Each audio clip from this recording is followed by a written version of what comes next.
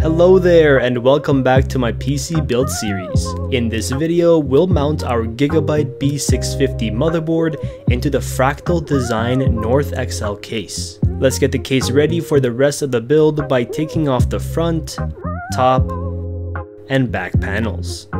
Tucked away at the bottom of the case in a hard drive slot was this box of accessories. It has some screws in it and a couple twist ties.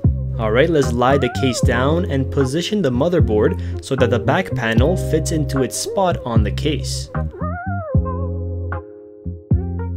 This motherboard, the B650, has 9 standoff screw holes for mounting it to the case.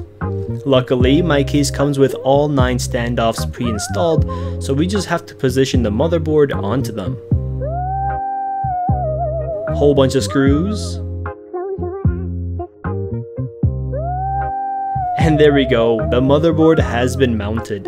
Now we'll just have to plug in the case's connectors. First up, let's plug in the USB 3 connector cable.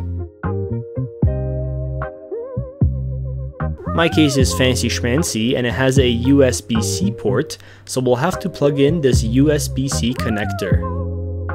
We also have a few audio jack ports, so we'll have to plug in this HD audio connector to the very bottom left of the motherboard, titled F Audio. And of course, the power switch and the power LED connectors. These go on the F panel, but it highly depends where on the F panel for your motherboard. We now have the motherboard mounted and plugged into the case. In the next episode, we'll be installing a Corsair AIO CPU cooler, so make sure to subscribe to follow along with the rest of the build, and I'll see you in the next one.